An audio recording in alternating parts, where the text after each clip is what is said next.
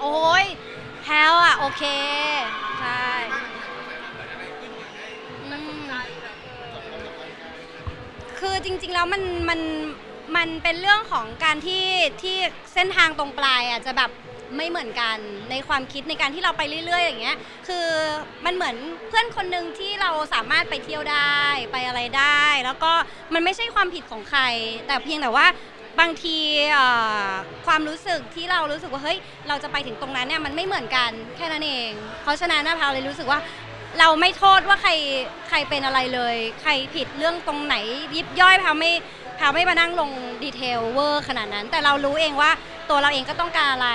ตัวตัวตัวฟรอยด์เองเป็นยังไงอะไรอย่างเงี้ยเพราะฉะนั้นอะอันเนี้ยเราเลยรู้สึกว่าเฮ้ยมันดีกว่าที่เราจะจบในแบบที่ไม่ได้มีสิ่งที่แย่ๆให้กันอะไรอย่างเงี้ย มัน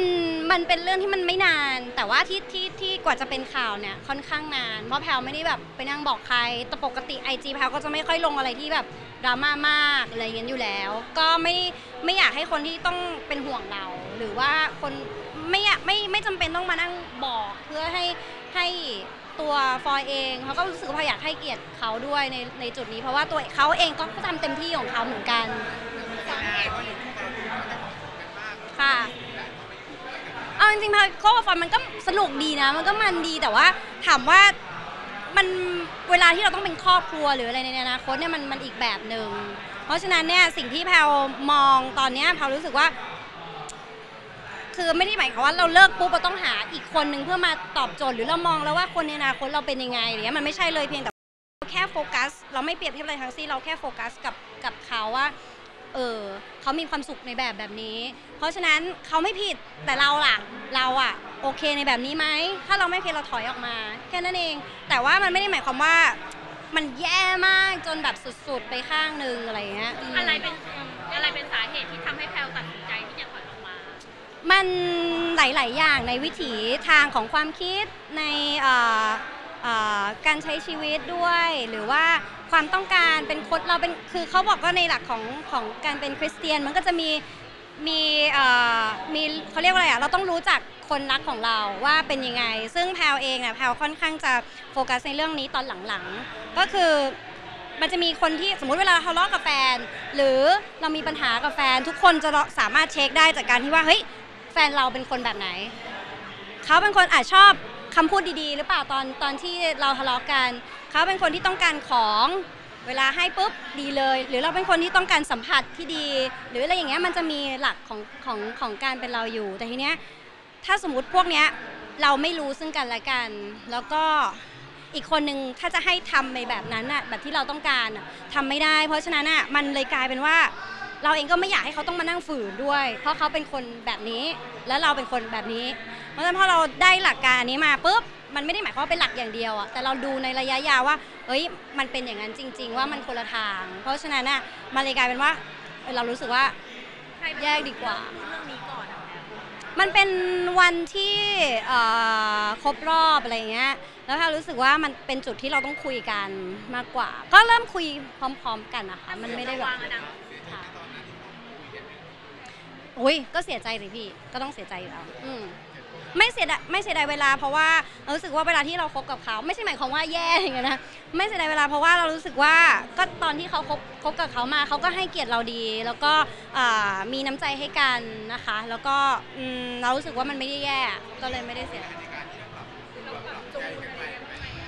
จริงๆ แล้วมันคือในระหว่างที่เราคบกันเนี่ยการดูดูกันไปเนี่ยมันก็คือการที่เราอะเราเรามองกันตลอดอยู่แล้ว เพราะฉะนั้นน่ะมันไม่ได้หมายความว่า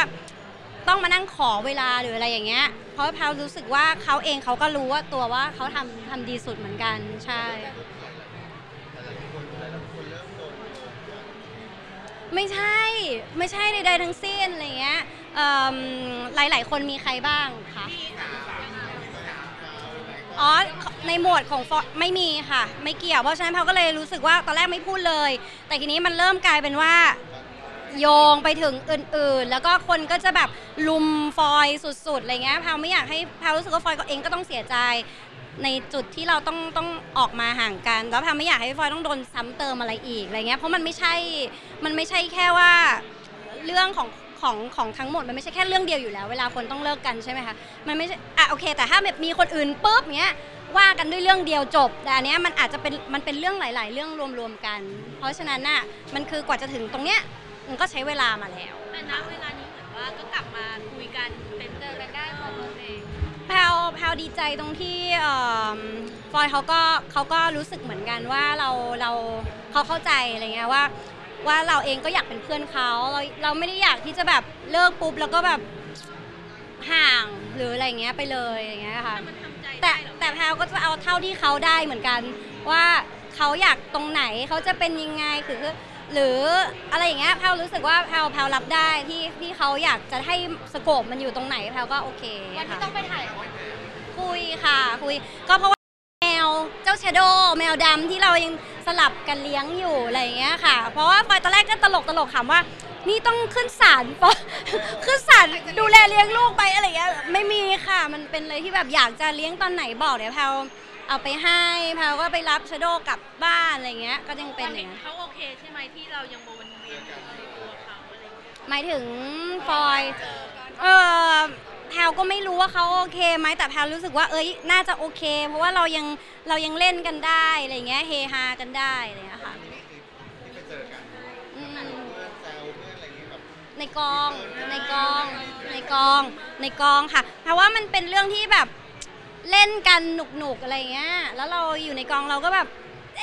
แล้วเขาก็เป็นคนขี้เล่นอยู่แล้วแพลวก็เลยรู้สึกว่าเออแพลวไม่ได้ไม่ไม่ได้ติดอะไรที่เขาจะเล่นเหมือนเดิมหรืออะไรอย่างเงี้ยเพราะเราก็ไม่ได้หมายความว่ามันจะทำให้ใครรอบข้างรู้สึกแย่ เพราะเราไม่ได้มีสมมติอับฟอยเขาก็ไม่ได้มีใครอย่างเงี้ยมันก็แต่ถ้าอะเมื่อไหร่แต่ละคนมีแฟนใหม่เงี้ยเราก็ต้องเกรงใจ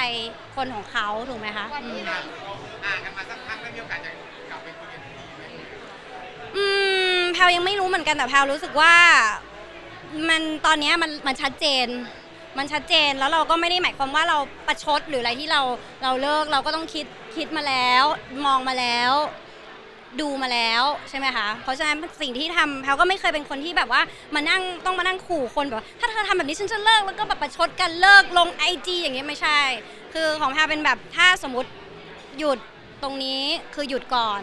แล้วก็ทีเนี้ยถ้าสมมติว่าเออมันเป็นยังไงต่อแล้วค่อยว่ากัน แต่ตอนเนี้ยแพลรู้สึกว่าแพลไม่ได้ไม่ได้ไม่ได้มีข้อสงสัยกับตัวเองด้วย เพราะว่ารู้ชัดเจนในในใจว่าเราเลือกแล้วเหมือนกันวันที่เขากลับมาในชีวิตเราได้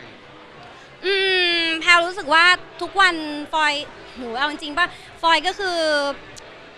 มาตลอดในช่วงเวลาที่ตั้งแต่แพลเด็กๆเนี้ยก็จะเจอฟอยตลอด เพราะฉะนั้นอะ การเปลี่ยนแปลงของฟอยในแต่ละสเต็ปของอายุเขาอะช่วงนี้คือเขาก็โตมากแล้วเขาก็นิ่งขึ้นเยอะอะไรอย่างเงี้ยค่ะ แต่ว่าเขาก็ไม่รู้เหมือนกันว่า อนาคตเขาก็จะเป็นยังไงต่อ